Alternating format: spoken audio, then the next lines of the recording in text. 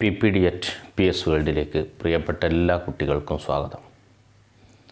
കെമിസ്ട്രിയിലെ എട്ടാം ക്ലാസ്സിലെ കെമിസ്ട്രി നമ്മൾ മൂന്നാമത്തെ ചാപ്റ്ററിലേക്ക് പ്രവേശിക്കണം മൂന്നാമത്തെ ചാപ്റ്ററിന്റെ പേര് കെമിക്കൽ ചേഞ്ചസ് രാസമാറ്റങ്ങൾ എന്നാണ്. നമുക്കറിയാം നമ്മളിതിനു മുമ്പ് നിങ്ങൾ ഏഴാം ക്ലാസ് നിന്നൊക്കെ പഠിച്ചിട്ടുണ്ട്. നമുക്ക് ചുറ്റും നടക്കുന്ന മാറ്റങ്ങൾ നമുക്ക് രണ്ടായി തരംതിരിക്കാം. താൽക്കാലിക മാറ്റവും സ്ഥിരമാറ്റവും. Temporary changes and permanent changes temporary changes അഥവാ താൽക്കാലിക മാറ്റം എന്ന് പറഞ്ഞാൽ എന്താ? താൽക്കാലിക മാറ്റം എന്ന് പറഞ്ഞാൽ ആ മാ ഒരു വസ്തുവിനുണ്ടായ മാറ്റം. ആ മാറ്റത്തിൽ നിന്ന് അത് വീണ്ടും പഴയ അവസ്ഥയിലേക്ക് തന്നെ തിരിച്ചു കിട്ടും. അത് മാറുന്നതിന് മുമ്പ് എങ്ങനെയായിരുന്നോ ആ രൂപത്തിലേക്ക് തന്നെ വീണ്ടും തിരിച്ച് കിട്ടുന്നുവെങ്കിൽ നമ്മൾ പറയും താൽക്കാലിക മാറ്റമാണെന്ന് പറയും. സ്ഥിരമാറ്റം എന്ന് പറഞ്ഞാൽ ആ വസ്തു വേറൊരു വസ്തുവായിട്ട് മാറിയിട്ടുണ്ടാവും. പിന്നെ ആ വസ്തുവിനെ ആ മാറിയ വസ്തുവിനെ പഴയ അവസ്ഥയിലേക്ക് തിരിച്ച് ഉണ്ടാക്കാൻ നമുക്ക് കഴിയില്ല. അങ്ങനെ വരികയാണെങ്കിൽ നമ്മൾ പറയും സ്ഥിരമാറ്റം എന്ന് പറയും. അപ്പോൾ താൽക്കാലിക മാറ്റമുണ്ട് സ്ഥിരമാറ്റമുണ്ട്. ടെമ്പററി ചേഞ്ചുണ്ട് പെർമനന്റ് ചേഞ്ചുണ്ട് ഈ ചേഞ്ചിനെ നമ്മൾ സൂക്ഷ്മമായിട്ട് പരിശോധിക്കുകയാണെങ്കിൽ തന്മാത്രകളുടെ ക്രമീകരണത്തിലുണ്ടാകുന്ന മാറ്റമാണ് ശരിക്കും പറഞ്ഞാൽ താൽക്കാലിക മാറ്റം എന്ന് പറയാം. ഇപ്പോൾ വളരെ അടുത്ത് നിൽക്കുന്ന തന്മാത്രകൾ ഒന്ന് അകന്ന് നിന്നാൽ അത് താൽക്കാലിക മാറ്റാം. വീണ്ടും വേണമെങ്കിൽ ആ തന്മാത്രകളെ നമുക്ക് അടുപ്പിക്കാം. അപ്പോൾ തന്മാത്രകളുടെ ക്രമീകരണത്തിലുണ്ടാകുന്ന മാറ്റമാണ് താൽക്കാലിക മാറ്റം എന്ന് നമ്മൾ പറയാം. എന്നാൽ സ്ഥിരമാറ്റം എന്ന് പറഞ്ഞാൽ ഒരു തന്മാത്ര ഉണ്ടാവുന്നത് ആറ്റങ്ങൾ തമ്മിൽ സംയോജിച്ചിട്ടാണ് അപ്പോൾ ഈ തന്മാത്രയിലുള്ള തന്മാത്രയിലുള്ള ആറ്റങ്ങളെ വേർപ്പെടുത്തി ആറ്റങ്ങൾ വേറെ ആറ്റങ്ങളുമായിട്ട് സംയോജിച്ചിട്ട് പുതിയ തന്മാത്രകൾ ഉണ്ടാവുകയാണ്. അപ്പോൾ മോളിക്യൂൾ എന്തായി മാറുന്നു? മോളിക്യൂളിലുള്ള ആറ്റങ്ങൾ വേർപെട്ടു പോയി. വേറെ ആറ്റങ്ങളൊക്കെ ആയിട്ട് സംയോജിച്ചിട്ട് പുതിയ ചില തന്മാത്രകളായിട്ട് മാറാം. Molecules becomes new molecules the atoms separated from molecules these atoms combines with other atoms to form new molecules അതിൽ താൽക്കാലിക മാറ്റങ്ങളെ നമ്മൾ ഭൗതിക മാറ്റങ്ങൾ ഫിസിക്കൽ ചേഞ്ചസ് എന്നാണ് വിളിച്ചിരുന്നത് അല്ലേ? ഫിസിക്കൽ ചേഞ്ചസ് ഭൗതിക മാറ്റങ്ങൾ. സ്ഥിരമാറ്റങ്ങളെ രാസമാറ്റങ്ങൾ എന്നാണ് വിളിച്ചിരുന്നത്. കെമിക്കൽ ചേഞ്ചസ് അപ്പം ഭൗതിക മാറ്റങ്ങളും രാസമാറ്റങ്ങളും. Physical changes and chemical changes അപ്പോൾ ഇനി നിങ്ങളൊന്ന് പറഞ്ഞു നോക്കുക. എന്താണ് ഫിസിക്കൽ ചേഞ്ചസ് എന്ന? ഭൗതിക മാറ്റം അഥവാ ഫിസിക്കൽ ചേഞ്ച് എന്ന് പറഞ്ഞാൽ ഒരു പദാർത്ഥത്തിലുള്ള തന്മാത്രകളുടെ ക്രമീകരണത്തിൽ മാത്രമേ മാറ്റം വരുന്നുള്ളൂ. അഥവാ ഒരു വസ്തുവിന്റെ അവസ്ഥക്കോ രൂപത്തിനോ ആകൃതിക്കോ ഒക്കെ മാറ്റം വരുള്ളൂ. In physical change there will be a change in the arrangement of molecules തന്മാത്രകൾ തമ്മിലുള്ള ക്രമീകരണത്തിൽ ചെറിയൊരു മാറ്റം മാത്രമേ സംഭവിക്കുള്ളൂ. അതാണ് ഫിസിക്കൽ ചേഞ്ച് ഇനി നിങ്ങൾ നോക്കുക ഒരു വസ്തുവിനെ അതിന്റെ ആകൃതി മാറ്റുക ഷേപ്പിൽ മാറ്റം വരിക. ഇപ്പം വളരെ നീളമുള്ള ഒരു വസ്തു ഒരു വടി നമ്മൾ മുറിക്കുകയാണ് ചെറിയ ചെറിയ കഷ്ണങ്ങളായിട്ട് മുറിക്കുക. അപ്പോൾ അതിന്റെ ഷേപ്പിൽ മാറ്റം വരികയാണ്. അതിന്റെ വലുപ്പത്തിൽ മാറ്റം വരികയാണ്. അതിന്റെ ലെങ്ത്ത് മാറുന്നു. അതിന്റെ ആകൃതിക്ക് മാറ്റം വരുന്നു. ഇതൊക്കെ ഫിസിക്കൽ ചേഞ്ചാണ് കാരണം ഇതിൽ നമ്മൾ ഒരിക്കലും എന്തായിട്ടില്ല. ആ വസ്തു ഇല്ലാതെയായിട്ടില്ല. വലിയൊരു വടി രണ്ട് കഷ്ണമാക്കുമ്പോൾ രണ്ട് ചെറിയ വടി കഷ്ണമായി തന്മാത്രകൾ മാറിയിട്ടില്ല. മോളിക്യൂൾസ് ആർ സെയിം അതിന്റെ ലെങ്ത്ത് അതിന്റെ ഒരു ഭാഗം ഒന്ന് പൊട്ടിച്ചെന്ന് മാത്രം. അവിടെ പിന്നെ ബന്ധിച്ചിരുന്ന തന്മാത്രകളെ നമ്മളൊന്ന് പൊട്ടിച്ചു അകറ്റി നിർത്തിയെന്ന് മാത്രം. അപ്പോൾ തന്മാത്രകൾ ഒന്ന് നിന്നു. തന്മാത്രകൾ അകന്ന് ഈ പൊട്ടൽ അല്ലേ? ആ പൊട്ടിയ ഭാഗത്ത് മോളിക്യൂൾസ് ഒന്ന് വേറുപെട്ടു ദാറ്റ്സ് ഓൾ അപ്പോൾ തന്മാത്രകളുടെ ക്രമീകരണത്തിൽ ചെറിയൊരു മാറ്റം വരികയാണ്. പൊട്ടുമ്പോഴും നീളം കൂടുമ്പോഴും കുറയുമ്പോഴും വലുപ്പം കൂടുമ്പോഴും കുറയുമ്പോഴും ആകൃതിക്ക് മാറ്റം വരുമ്പോൾ ഷേപ്പ് ചേഞ്ച് വരുമ്പം അപ്പോൾ ഷെയിം ഷേപ്പ് ലെങ്ത്ത് അല്ലേ ഇവയിലൊക്കെ മാറ്റം വരിക എന്ന് പറഞ്ഞാൽ ഫിസിക്കൽ ചേഞ്ചാണ് അതിൽ പുതിയ മോളിക്യൂളൊന്നും ഉണ്ടാവണില്ല. നമ്മൾ പറഞ്ഞല്ലോ physical change is a change in which the arrangement of molecules becomes different but chemical change is a change in which new molecules are formed ഭൗതിക മാറ്റം എന്ന് പറഞ്ഞാൽ തന്മാത്രകളുടെ അറേഞ്ച്മെന്റ് തന്മാത്രകളുടെ ക്രമീകരണത്തിൽ മാറ്റം വരുന്നതിനാണ് ഭൗതിക മാറ്റം എന്ന് പറയാം.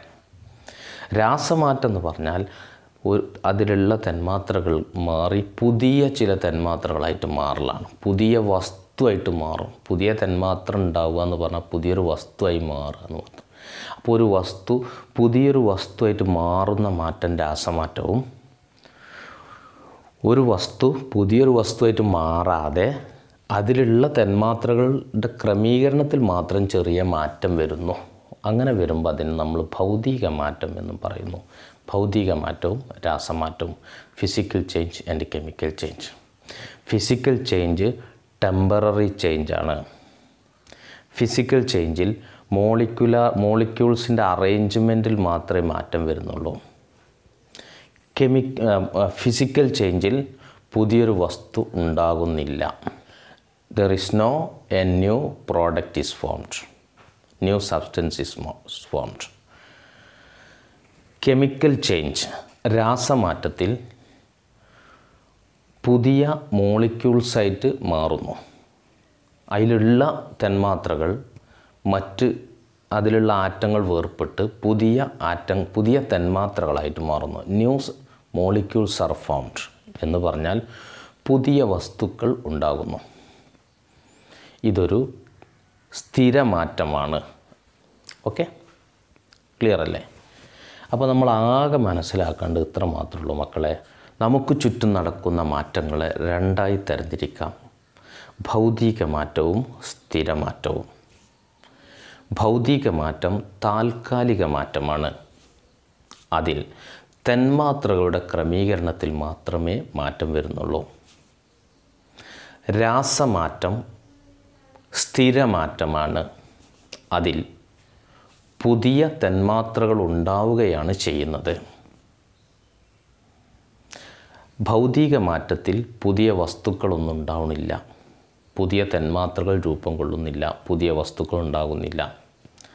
രാസമാറ്റത്തിൽ പുതിയ തന്മാത്രകൾ ഉണ്ടാകുന്നു. അതായത് പുതിയ വസ്തുക്കൾ ഉണ്ടാകുന്നു. ഭൗതിക മാറ്റത്തിൽ മാറിയ വസ്തുവിനെ നമുക്ക് വീണ്ടും തിരിച്ചു കിട്ടും. ഉണ്ടായ മാറ്റത്തെ നമുക്ക് വീണ്ടും പഴയ അവസ്ഥയിലേക്ക് മാറ്റാൻ കഴിയും. രാസമാറ്റത്തിൽ ഉണ്ടായ മാറ്റം സ്ഥിരമാറ്റമാണ് വീണ്ടും പഴയ അവസ്ഥയിലേക്ക് തിരിച്ചെത്തിക്കാൻ കഴിയില്ല. ഇതാണ് ഭൗതിക മാറ്റവും രാസമാറ്റവും. ഓക്കെ?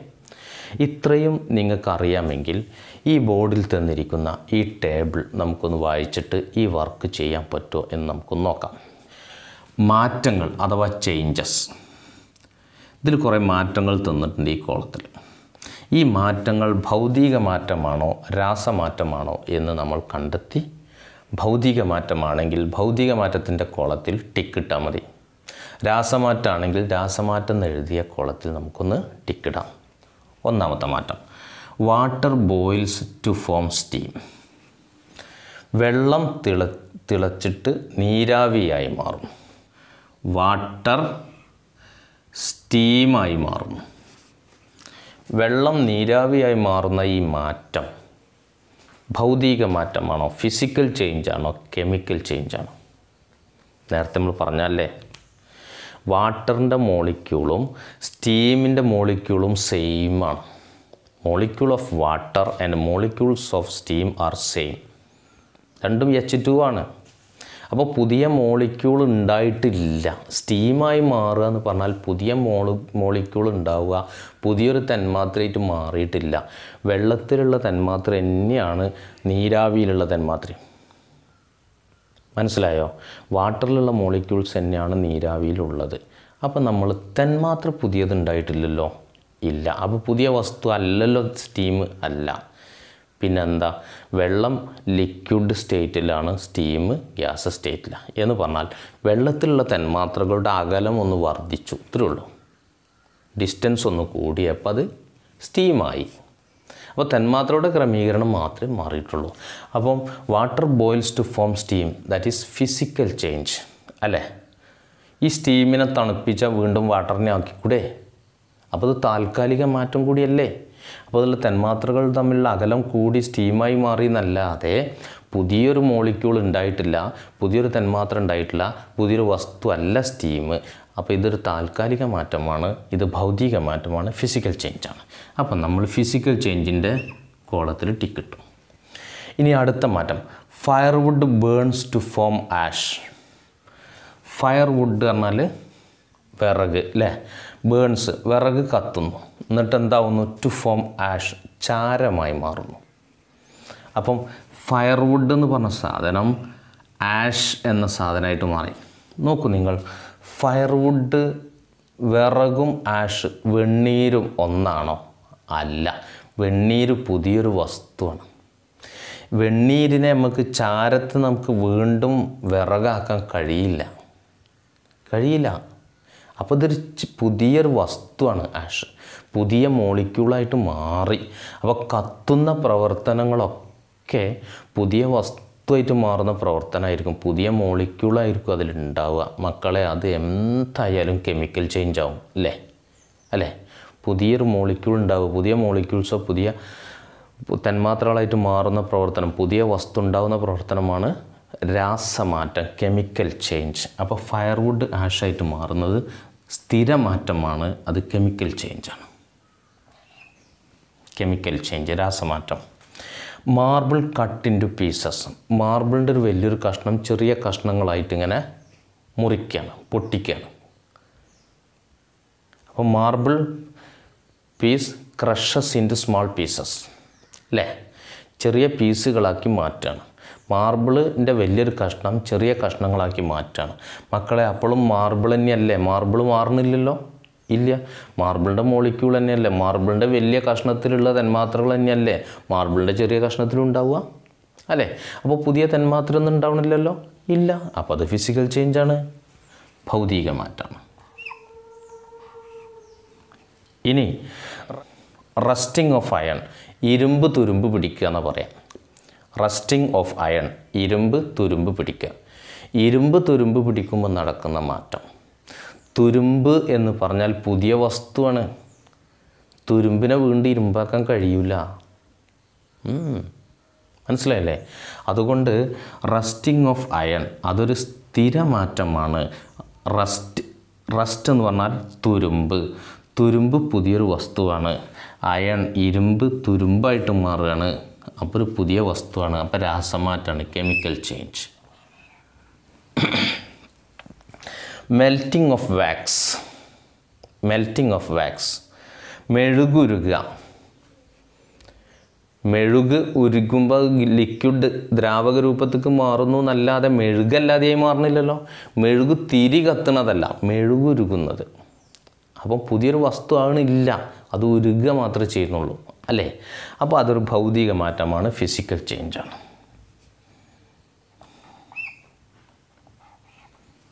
ഓക്കെ ഇനി hydrogen burns in air to form water hydrogen burns in air വായുവിൽ കത്തി വെള്ളം ഉണ്ടാകുന്നു. അപ്പം ഹൈഡ്രജൻ വെള്ളമായി മാറുകയാണ് വാട്ടർ ഇത് രണ്ടും രണ്ടും വേറെ വേറെ വസ്തുക്കളാണ് അല്ലേ? ഹൈഡ്രജന് വായു എയറുമായിട്ട് സംയോജിച്ച് അല്ലേ? ഹൈഡ്രജൻ വായുവിലെ ഓക്സിജനായിട്ട് ചേർന്ന് വാട്ടർ ഉണ്ടാകുന്നു വെള്ളം ഉണ്ടാകുന്നു വെള്ളം എന്നത് പുതിയൊരു വസ്തുവാണ്. പുതിയൊരു വസ്തുവാണ്. കറക്റ്റ് അല്ലേ? അങ്ങനെ പുതിയ വസ്തു ഉണ്ടാവുന്നുണ്ട് ഇവിടെ. അപ്പോൾ അത് കെമിക്കൽ ചേഞ്ചാണ് അപ്പോൾ നമ്മളിവിടെ ഈ ഒരു വർക്ക്ഷീറ്റ് പൂർത്തിയാക്കിയപ്പോൾ നമുക്ക് എന്ത് മനസ്സിലായി? പുതിയ വസ്തുക്കൾ ഉണ്ടാവണമുണ്ടെങ്കിൽ അത് രാസമാറ്റവും പുതിയ വസ്തുക്കൾ ഉണ്ടാവണില്ല എങ്കിൽ അത് ഭൗതിക മാറ്റവുമായിരിക്കും. ഒരു മാറ്റം ഭൗതിക മാറ്റമാകുന്നത് അത് പുതിയ തന്മാത്രകളായി മാറണില്ലെങ്കിൽ തന്മാത്രകളുടെ ക്രമീകരണത്തിൽ മാത്രമേ മാറ്റം വരുന്നുള്ളൂ.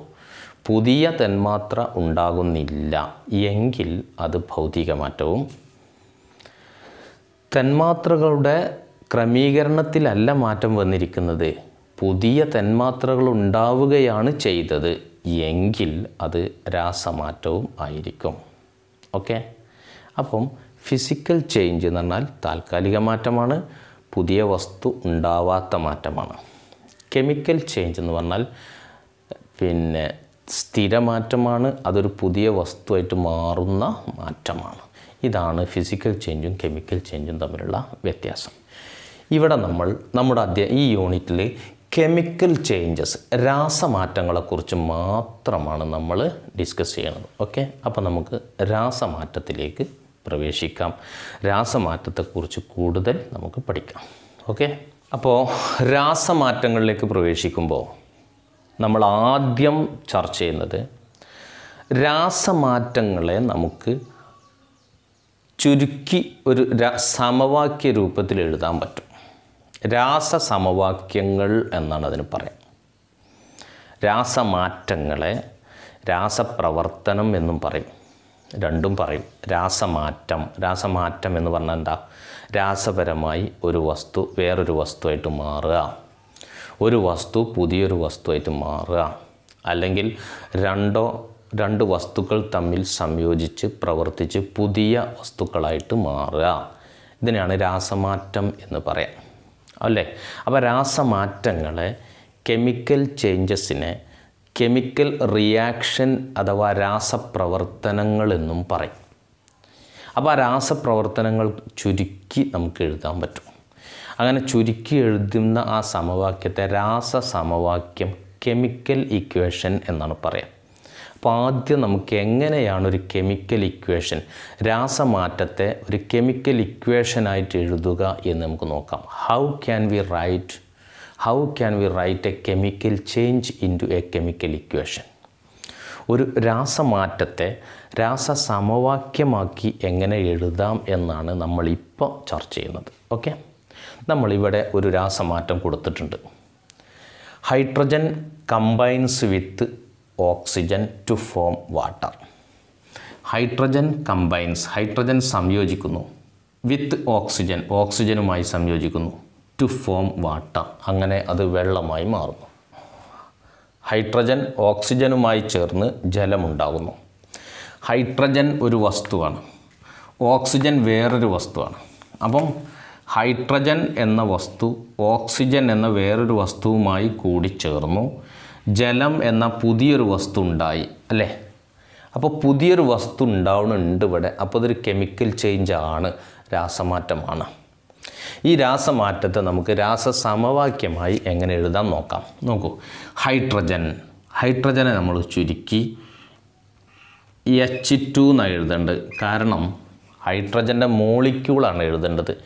എച്ച് എന്ന് മാത്രം എഴുതുമ്പോൾ ഹൈഡ്രജന്റെ ആറ്റെന്നേ ആവുള്ളൂ. ആറ്റല്ല. രാസസമവാക്യം എഴുതുമ്പോൾ ഹൈഡ്ര മോളിക്യൂൾസ് തന്മാത്രകളെ സൂചിപ്പിക്കുന്ന വാക്യമാണ് നമ്മൾ എഴുതേണ്ടത്. അപ്പോൾ ഹൈഡ്രജന്റെ തന്മാത്രയെ എച്ച് ടു എന്നാണ് സൂചിപ്പിക്കുക. അതിന് മുമ്പ് നമ്മൾ പഠിച്ചതാണ്. അപ്പോൾ ഹൈഡ്രജൻ എച്ച് ടു പ്ലസ് സംയോജിക്കുന്നു. പ്ലസ് എന്ന് പറഞ്ഞാൽ സംയോജിക്കുന്നു. ആരുമായിട്ട്? ഓക്സിജനുമായി. ഓക്സിജൻ ഓ ടു അല്ലേ? അപ്പോൾ ഹൈഡ്രജൻ ഓക്സിജനുമായി സംയോജിക്കുന്നു നമ്മൾ ചുരുക്കി എഴുതി. പിന്നെ ഉണ്ടാകുന്നു. ഗീവ്സ്. ഇങ്ങനെ ഒരു ആരോ മാർക്ക് ഇട്ടാൽ അതിന്റെ അർത്ഥം ഉണ്ടാകുന്നു എന്നാണ്. എന്താ പറയുക ഉണ്ടാകുന്നു. ഹൈഡ്രജൻ ഓക്സിജനുമായി സംയോജിച്ച് ഉണ്ടാകുന്നു. എന്തുണ്ടാകുന്നു? ജലം ജലത്തിന്റെ മോളിക്യൂൾ തന്മാത്ര എച്ച് ടു ഒ നോക്കൂ നമ്മൾ എഴുതിയില്ലേ? രാസമാക്കി എഴുതി. ഇതിങ്ങനെ ചുരുക്കി എഴുതി നമ്മൾ ഇത്ര വലിയൊരു സെന്റൻസിനെ വളരെ ചുരുക്കി എഴുതി. ഇതാണ് കെമിക്കൽ ഇക്വേഷൻ അഥവാ രാസസമവാക്യം എന്ന് നമ്മൾ പറയും. Hydrogen combines with oxygen to form H two water. Okay? അപ്പം ഇങ്ങനെ രാസസമവാക്യം ചുരുക്കി എഴുതി. ഇതിൽ രാസപ്രവർത്തനത്തിൽ ഏർപ്പെടുന്ന വസ്തുക്കൾ ഏതൊക്കെയാണ് ഹൈഡ്രജൻ ഓക്സിജൻ അല്ലേ? ഈ രാസപ്രവർത്തനത്തിൽ ഏർപ്പെടുന്ന വസ്തുക്കളെ അഭികാരകങ്ങൾ എന്നാണ് പറയാം. അപ്പോൾ ഇത് അഭികാരകങ്ങൾ. മലയാളത്തിൽ നമ്മൾ അഭികാരകങ്ങൾ എന്ന് പറയും. മലയാളത്തിൽ അഭികാരകങ്ങൾ എന്ന് പറയും. ഇംഗ്ലീഷിൽ റിയാക്റ്റൻസ് റിയാക്റ്റൻസ് രാസപ്രവർത്തനത്തിൽ ഏർപ്പെടുന്ന വസ്തുക്കളെ അഭികാരങ്ങൾ അഥവാ റിയാക്റ്റൻസ് എന്ന് പറയും. ഉണ്ടാകുന്ന പുതിയ വസ്തുവിനെ ഉണ്ടാകുന്ന വസ്തുവിനെ നമ്മൾ ഉൽപ്പന്നം എന്ന് പറയും. ഉൽപ്പന്നം. പ്രോഡക്റ്റ് എന്ന് ഇംഗ്ലീഷിൽ പറയും. അപ്പം റിയാക്റ്റൻസും പ്രോഡക്റ്റും. റിയാക്റ്റൻസ് എന്ന് പറഞ്ഞാൽ രാസ പ്രവർത്തനത്തിൽ ഏർപ്പെടുന്ന വസ്തുക്കളെ പങ്കെടുക്കുന്ന വസ്തുക്കളെ പ്രവർത്തിച്ച വസ്തുക്കളെ അഭികാരങ്ങളെന്നും പുതിയതായി ഉണ്ടായ വസ്തുവിനെ ഉൽപ്പന്നം എന്നും പറയും. അപ്പോൾ അഭികാരങ്ങളും ഉൽപ്പന്നങ്ങളും. ക്ലിയർ അല്ലേ? ശരി. ഇനി നമ്മൾ ശ്രദ്ധിക്കേണ്ടത് ഇതിപ്പോൾ ഹൈഡ്രജനും ഓക്സിജനും ചേർന്ന് വെള്ളം ഉണ്ടാകുന്ന ഒരു രാസ സമവാക്യമാണ് കെമിക്കൽ ഇക്വേഷനാണ് ഈ കെമിക്കൽ ഇക്വേഷനിൽ അഭികാരകങ്ങളുടെ ഭാഗത്തും ഉൽപ്പന്നങ്ങളുടെ ഭാഗത്തും ആറ്റങ്ങളുടെ എണ്ണത്തിൽ വ്യത്യാസം വരാൻ പാടില്ല. രണ്ട് ഭാഗത്തും ആറ്റങ്ങളുടെ എണ്ണം തുല്യമായിരിക്കണം. അങ്ങനെ അഭികാരങ്ങളുടെ ഭാഗത്തും ഉൽപ്പന്നങ്ങളുടെ ഭാഗത്തും ആറ്റങ്ങളുടെ എണ്ണം തുല്യമാക്കി എഴുതുമ്പോൾ അതിനെ നമ്മൾ എന്ത് പറയും? സമീകൃത സമവാക്യം എന്ന് പറയും. ഇംഗ്ലീഷ് പറയും ബാലൻസ്ഡ് കെമിക്കൽ ഇക്വേഷൻ അപ്പോൾ ഇത് ബാലൻസ് ചെയ്യണം. ബാലൻസ് ചെയ്യണം സമീകരിക്കണം. സമീകരിക്കുക ബാലൻസ് ചെയ്യുക. അപ്പോൾ ഒരു chemical equation how can we balance the chemical equation ഒരു രാസസമവാക്യത്തെ എങ്ങനെ നമുക്ക് സമീകരിക്കാൻ പറ്റും? ഇതാണ് നമ്മളിപ്പോൾ ചർച്ച ചെയ്യുന്നത്. ഓക്കെ സമീകരിക്കാൻ പോകണം സമീകരിക്കുക എന്താ? അഭികാരങ്ങളുടെ ഭാഗത്തുള്ള ആറ്റങ്ങളുടെ എണ്ണവും ഉൽപ്പന്നത്തിന്റെ ഭാഗത്തുള്ള ആറ്റങ്ങളുടെ എണ്ണവും ഒരേപോലെ ആവണം. ഓരോ വിഭാഗത്തിൽപ്പെട്ട ആറ്റങ്ങളുടെ എണ്ണവും തുല്യമാവണം അപ്പോൾ അഭികാരങ്ങളുടെ ഭാഗത്ത് ഹൈഡ്രജന്റെ ആറ്റങ്ങൾ എത്രണ്ണുണ്ടോ അത്രയും ഹൈഡ്രജൻ ആറ്റങ്ങൾ ഉൽപ്പന്നത്തിന്റെ ഭാഗത്തും വേണം. അഭികാരങ്ങളുടെ ഭാഗത്ത് എത്ര ഓക്സിജൻ ആറ്റങ്ങൾ ഉണ്ടോ അത്രയും ഓക്സിജൻ ആറ്റങ്ങൾ ഉൽപ്പന്നത്തിന്റെ ഭാഗത്തും വേണം. അപ്പോൾ അഭികാരങ്ങളുടെ ഭാഗത്തും ഉൽപ്പന്നത്തിന്റെ ഭാഗത്തും ഓരോ ഇനത്തിൽപ്പെട്ട ആറ്റങ്ങളും തുല്യമായിരിക്കണം. The atoms of each elements in reactants part and product part should be equal then that chemical equation will call as balanced chemical equation ഓരോ ഇനത്തിൽപ്പെട്ട മൂലകങ്ങളുടെ ആറ്റങ്ങളും അഭികാരങ്ങളുടെ ഭാഗത്തും ഉൽപ്പന്നങ്ങളുടെ ഭാഗത്തും ഒരുപോലെ ആയിരിക്കണം. അപ്പോൾ നമ്മൾ പറയും ഇത് സമീകൃത സമവാക്യമാണ് എന്ന് പറയും. ഓക്കെ അപ്പോൾ സമീകരിക്കാൻ പോവാണ്. അഭികാരങ്ങളുടെ ഭാഗത്ത്. ഈ ഭാഗത്ത് നോക്കൂ എത്ര ഹൈഡ്രജന്റെ ആറ്റുണ്ട് ടു അല്ലേ? ഹൈഡ്രജൻ രണ്ട് ആറ്റുണ്ട് അപ്പോൾ ഈ ഉൽപ്പന്നത്തിന്റെ ഭാഗത്തും രണ്ടെണ്ണം ഉണ്ടല്ലേ നോക്കുക? എച്ച് ടു ഉണ്ടല്ലോ? ഉണ്ട്. അപ്പോൾ അതിന് കുഴപ്പമില്ല. ഹൈഡ്രജന്റെ എണ്ണ ഉൽപ്പന്നത്തിന്റെ ഭാഗത്തും അഭികാരങ്ങളുടെ ഭാഗത്തും സെയിം ആണ്. റിയാക്റ്റൻസിന്റെ ഭാഗത്ത് ഹൈഡ്രജൻ ആറ്റങ്ങൾ ടു പ്രോഡക്റ്റിന്റെ ഭാഗത്ത് ഹൈഡ്രജൻ ആറ്റങ്ങൾ ടു ഇനി ഓക്സിജൻ നോക്കൂ. റിയാക്റ്റൻസിന്റെ ഭാഗത്ത് എത്രയുള്ളത്? ഒ ടു രണ്ട് ആറ്റങ്ങളാണുള്ളത് എന്നാൽ ഉൽപ്പന്നത്തിന് പ്രോഡക്റ്റിന്റെ ഭാഗത്തോ ഒരാറ്റല്ലേ ഉള്ളൂ? ഓ വണ്ണാണ് നിങ്ങൾ ഇതിന്റെ ഫുഡ് വാല്യൂ വണ്ണാണ് അല്ലേ? വണ്ണാണ് അപ്പം ഇവിടെ ഓക്സിജൻ ഒന്നുള്ളൂ എന്നാൽ ഇവിടെ ഓക്സിജനോ രണ്ടുണ്ട് അപ്പോൾ അത് രണ്ടാക്കണ്ടേ? ഇവിടെ ഓക്സിജൻ രണ്ടുണ്ടാകുമ്പോൾ ഇവിടെ ഓക്സിജൻ രണ്ടുണ്ടാവണം അപ്പോൾ ചില കുട്ടികൾ വിചാരിക്കും ആ റിയാക്റ്റൻസിന്റെ ഭാഗത്ത് അഭികാരങ്ങളുടെ ഭാഗത്ത് രണ്ട് ഓക്സിജൻ ആറ്റ് ഉണ്ടെങ്കിൽ ഉൽപ്പന്നത്തിന്റെ ഭാഗത്ത് രണ്ടാക്കിയാൽ മതിയല്ലോ. അപ്പോൾ ചില കുട്ടികൾ ഇങ്ങനെ രണ്ടാക്കും. ഇവിടെ ടു നെയ്തു അത് മണ്ടത്തരമാണ്. അങ്ങനെ എഴുതരുത്. എച്ച് ടു ഒ ടു എന്ന് പറഞ്ഞാൽ വെള്ളമല്ല. ഹൈഡ്രജൻ പെറോക്സൈഡ് പറഞ്ഞ വേറൊരു വസ്തുവാണ്. നമുക്ക് വെള്ളം തന്നെ കിട്ടുന്നുണ്ട് വേറെ വസ്തുവല്ല. അപ്പോൾ ഇവിടെ ഓക്സിജൻ ഓക്സിജന്റെ എണ്ണം രണ്ടാക്കാൻ വേണ്ടി ഇതിന്റെ ബേസ് ഇൻഡെക്സ് ആയിട്ട് രണ്ടിട്ട് കൊടുക്കരുത്. അപ്പം വസ്തു മാറും. നമ്മൾ രണ്ട് എവിടെ ഇട്ട് കൊടുക്കണം എന്നറിയോ ഇവിടെ ഇട്ട് കൊടുക്കണം. ഇവിടെ രണ്ടിട്ട് കൊടുത്ത് എന്തിനാണ് ഓക്സിജനെ രണ്ടാക്കാനാണ്. ഓ ടു ഈ രണ്ട് ഹൈഡ്രജനും ബാധകമാണ് ഓക്സിജനും ബാധകമാണ്. ഇത് ഞാൻ വായിക്കാൻ പോവാണ്. രണ്ട് ഓക്സിജൻ രണ്ട് ഇന്റു രണ്ട് നാല് ഹൈഡ്രജൻ. അപ്പോൾ ഇവിടെ രണ്ടിട്ട് കൊടുക്കുമ്പോൾ ഹൈഡ്രജൻ നാലാകും ഓക്സിജൻ രണ്ടാവും. ഓക്സിജന്റെ ബേസ് ഇൻഡെക്സ് ഒന്നല്ലേ? അപ്പോൾ ഇതിങ്ങനെ മൾട്ടിപ്ലൈ ചെയ്യുമ്പോൾ രണ്ട് ഇന്റു രണ്ട് എത്രയാണ് ഹൈഡ്രജൻ നാല് രണ്ട് ഇന്റു ഒന്ന് ഓക്സിജൻ രണ്ടായപ്പോൾ മനസ്സിലായോ? അപ്പോൾ ഓക്സിജൻ അഭികാരങ്ങളുടെ ഭാഗത്ത് രണ്ടായി ഉൽപ്പന്നത്തിന്റെ ഭാഗത്തും രണ്ടായി. പക്ഷേ ഹൈഡ്രജൻ എത്രയായി നോക്കൂ? രണ്ട് ഇന്റു രണ്ട് നാലായില്ലേ? അപ്പോൾ ഇത് നാലാക്കണം. അപ്പോൾ ഇതെങ്ങനെ നാലാക്കുക? ടു എച്ച് ടു എന്ന് കൊടുത്താൽ മതി. രണ്ട് ഇന്റു രണ്ട് നാല്. മക്കളെ ഇതേപോലെ അഭികാരങ്ങളുടെ ഭാഗത്തും ഉൽപ്പന്നത്തിന്റെ ഭാഗത്തും മാറ്റങ്ങളുടെ എണ്ണം ഒരേപോലെ ആക്കി എഴുതണം. അപ്പം നമ്മൾ പറയും ഈ രാസ സമവാക്യം സമീകരിച്ചിട്ടുണ്ട്. This is a balanced chemical equation okay അപ്പോൾ ഇനി ഇതുപോലെ കെമിക്കൽ ഇക്വേഷൻ എഴുതിയിട്ട് ബാലൻസ് ചെയ്യണം. ഇതുപോലെ ചില ഉദാഹരണങ്ങൾ കൂടെ നമുക്കൊന്ന് പരിശോധിക്കാം. ഓക്കെ അപ്പോൾ നമ്മൾ ഇവിടെ ബോർഡിലൊരു മൂന്ന് റിയാക്ഷൻസ് നമ്മൾ എഴുതി വച്ചിട്ടുണ്ട്. ഈ മൂന്നെണ്ണത്തിന്റെ കെമിക്കൽ ഇക്വേഷൻ രാസസമവാക്യം നമുക്ക് എഴുതിയിട്ട് ഒന്ന് ബാലൻസ് ചെയ്യുക. സമീകരിക്കണം. എഴുതും വേണം സമീകരിക്കും വേണം. ഓക്കെ ഒന്ന് നോക്കാം നമുക്ക്. ഒന്നാമത്തത് sodium plus chlorine gives sodium chloride എന്താ അങ്ങനെ എഴുതിയ? സോഡിയം ക്ലോറിനുമായി സംയോജിക്കുന്നു. പ്ലസ് പറഞ്ഞാൽ സംയോജിക്കുന്നു. Sodium combines with chlorine. Sodium ക്ലോറിനുമായി സംയോജിക്കുന്നു. ഈ ആരോ മാർക്കിന്റെ അർത്ഥം ഉണ്ടാകുന്നു ഇങ്ങനെ പ്രവർത്തിച്ചിട്ട് അത് ആയിത്തീരുന്നു ഉണ്ടാകുന്നു. എന്തുണ്ടാകുന്നു? Sodium chloride. സോഡിയം ക്ലോറൈഡ് ഉണ്ടാകുന്നു. അതിന്റെ കെമിക്കൽ ഇക്വേഷൻ നമുക്കൊന്ന് എഴുതി നോക്കാം. സോഡിയം. സോഡിയത്തിന്റെ സിമ്പൽ എന്താ? N A sodium. സംയോജിക്കുന്നു. പ്ലസ്. ആരുമായി? ക്ലോറിനുമായി. ക്ലോറിൻ സി എൽ ടു ആണ് എഴുതുക കേട്ടോ. ക്ലോറിൻ ദ്വയാറ്റോമിക തന്മാത്രകളാണ്. ഏകാറ്റോമിക തന്മാത്രകൾ ദ്വയാറ്റോമിക തന്മാത്രകൾ ബഹുആറ്റോമിക തന്മാത്രകൾ നമ്മൾ പഠിച്ചിട്ടുണ്ട്. അല്ലേ mono atomic diatomic and poly atomic molecules. കഴിഞ്ഞ ക്ലാസ്സിലൊക്കെ നമ്മൾ പഠിച്ചതാണ്. സോഡിയം ഒരു സിങ് മോണോ ആറ്റോമിക് ആണ്. ഏകാറ്റോമിക തന്മ ഒരാറ്റം തന്നെയാണ് ഇതിന് മോളിക്യൂൾ. അപ്പോൾ എൻ എന്ന് മാത്രം മതി. N A plus C L two gives sodium ക്ലോറിനുമായി ചേർന്ന് സോഡിയം ക്ലോറൈഡ് ഉണ്ടാകുന്നു. N A C L sodium chloride N A C L okay sodium plus chlorine C L two N A plus C L two gives ഉണ്ടാകുന്നു. N A C L sodium chloride ഇനി നമുക്കിത് സമീകരിക്കണം. സമീകരിക്കുക ഇതിൽ reactance ഏതൊക്കെയാണ് അഭികാരങ്ങളെ എക്സാമിന് ചോദിക്കും. ഈ സമവാക്യം നോക്കിയിട്ട് ഇതിൽ അഭികാരകങ്ങളേവ. വിച്ച് ആർ ദ റിയാക്റ്റൻസ് ഏതാ റിയാക്റ്റൻസ് ഈ ഭാഗത്തുള്ളതല്ലേ?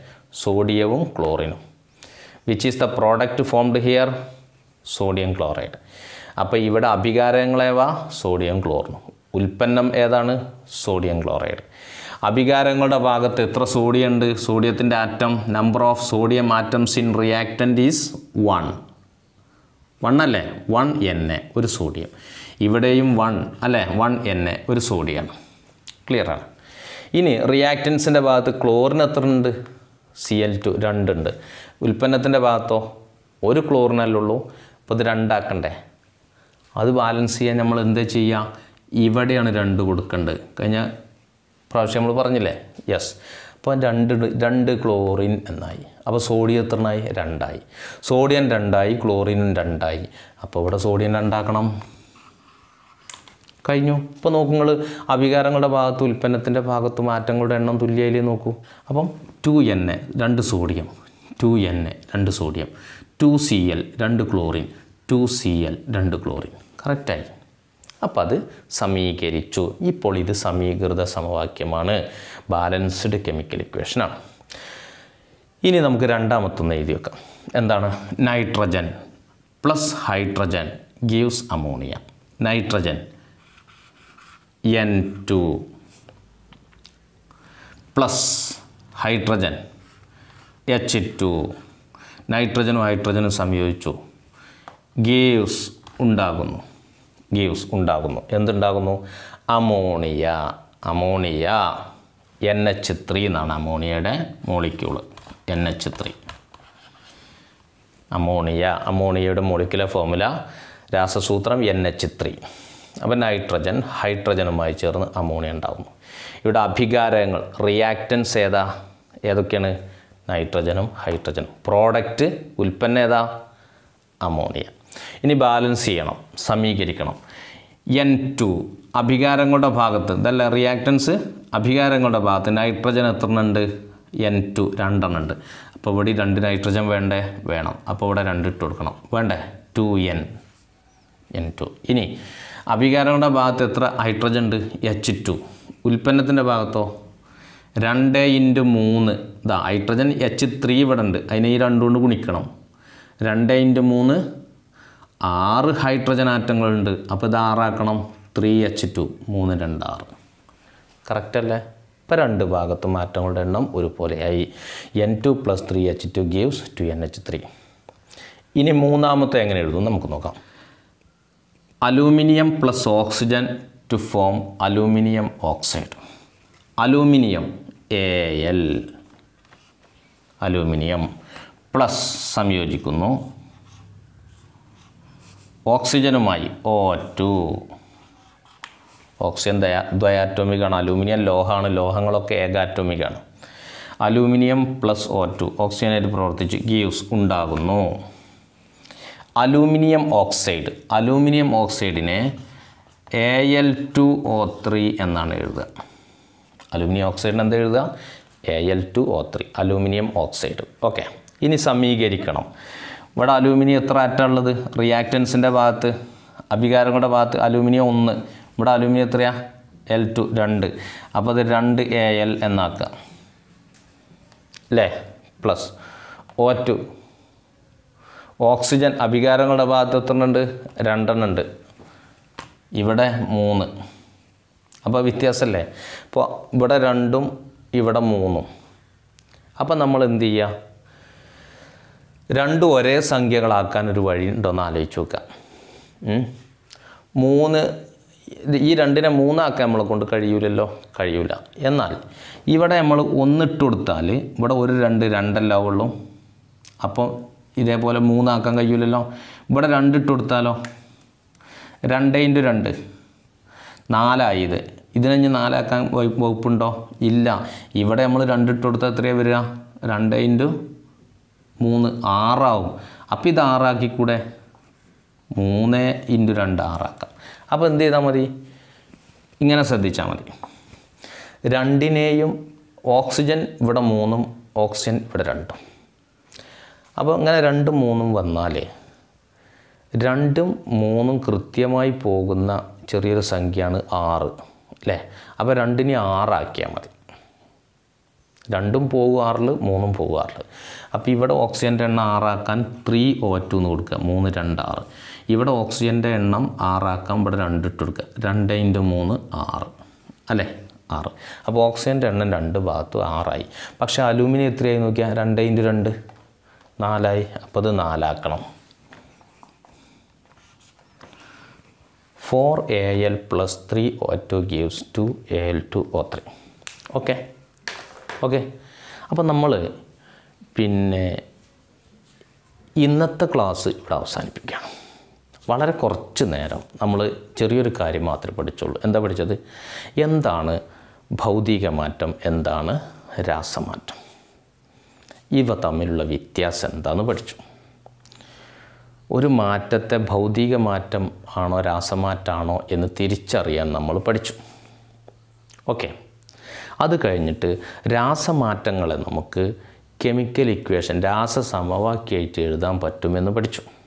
അങ്ങനെ ആ രാസ സമവാക്യം എഴുതിയിട്ട് എങ്ങനെയാണ് സമീകരിക്കുക ബാലൻസ് ചെയ്യുക എന്ന് നമ്മൾ പഠിച്ചു. എന്താണ് റിയാക്റ്റൻസ് എന്താണ് പ്രോഡക്റ്റ് എന്ന് പഠിച്ചു. അഭികാരങ്ങൾ എന്ന് പറഞ്ഞാൽ എന്താണ്? ഉൽപ്പന്നം എന്ന് പറഞ്ഞാൽ എന്താണെന്ന് പഠിച്ചു. രാസപ്രവർത്തനത്തിൽ ഏർപ്പെടുന്ന വസ്തുക്കൾ അഭികാരങ്ങളെന്നും ഉണ്ടാകുന്ന പുതിയ വസ്തുക്കളെ ഉൽപ്പന്നങ്ങളെന്നും പറയുന്നു. അങ്ങനെ അഭികാരങ്ങളുടെ ഭാഗത്തും ഉൽപ്പന്നങ്ങളുടെ ഭാഗത്തും മാറ്റങ്ങളുടെ എണ്ണം ഒരേപോലെയാക്കി എഴുതി രാസസമവാക്യം സമീകരിക്കാൻ നമ്മൾ പഠിച്ചു. ഓക്കെ? അപ്പോൾ ഇനി നിങ്ങൾ ചെയ്യേണ്ടത് ഇതുപോലെ ധാരാളം രാസസമവാക്യങ്ങൾ നിങ്ങൾ കണ്ടു കഴിഞ്ഞാൽ അതൊന്ന് സമീകരിക്കാൻ നോക്ക്. ഓക്കെ? നമ്മുടെ ടെക്സ്റ്റ് ബുക്കിലുണ്ടാവും കുറേ ഉദാഹരണങ്ങൾ. ഇതൊക്കെ നിങ്ങൾ നോക്കുക ഓക്കെ അപ്പോൾ ഇത്രയേ ഉള്ളൂ. ഇന്നത്തെ ക്ലാസ് ഇവിടെ അവസാനിപ്പിക്കുകയാണ്. ഈ വീഡിയോ നിങ്ങൾക്ക് ഇഷ്ടപ്പെട്ടുവെങ്കിൽ നിങ്ങൾ ലൈക്ക് ചെയ്യാം ഷെയർ ചെയ്യാം കൂട്ടുകാർക്കൊക്കെ ഷെയർ ചെയ്ത് കൊടുക്കുക. കാരണം ഇത് കെമിസ്ട്രിയിലെ വളരെ ബേസിക് ആയിട്ടുള്ള കാര്യങ്ങളാണ്. ഇതൊക്കെ എട്ടാം ക്ലാസ് തന്നെ നന്നായി പഠിച്ചു പോവുക ഓക്കെ അപ്പോൾ തുടർന്ന് കെമിസ്ട്രി പഠനം നിങ്ങൾക്ക് വളരെ എളുപ്പമായിട്ട് മാറും ഓക്കെ അതേപോലെ മക്കളെ നിങ്ങൾ ആരെങ്കിലും ഈ ചാനൽ എന്റെ ഈ channel P P D at P S world എന്ന ഈ ചാനൽ ആദ്യമായി കാണുന്ന കുട്ടികളുണ്ടെങ്കിൽ നിങ്ങൾ സബ്സ്ക്രൈബ് ചെയ്ത് ബെല്ലൈക്കൺ അമർത്തുക. കാരണം ഇക്കൊല്ലം കൊല്ലം നമ്മൾ ബാക്കിയുള്ള എല്ലാ പാഠങ്ങളും ഇതുപോലെ നിങ്ങൾക്ക് ക്ലാസ് ആയിട്ട് ഇങ്ങനെ തരാനാണ് ഉദ്ദേശിക്കുന്നത്. അത് നിങ്ങൾക്ക് നോട്ടിഫിക്കേഷനായിട്ട് കിട്ടിക്കൊണ്ടിരിക്കണം. അതിനാണ് സബ്സ്ക്രൈബ് ചെയ്യാനും ബെല്ലൈക്കൺ അമർത്താനും പറയുന്നത്. ഓക്കെ മറക്കരുത്. തൽക്കാലം ഇന്നത്തെ ക്ലാസ് നിർത്താണ് എല്ലാവർക്കും എല്ലാവിധ വിജയങ്ങളും ആശംസിച്ചുകൊണ്ട് നിർത്തുന്നു. എല്ലാവർക്കും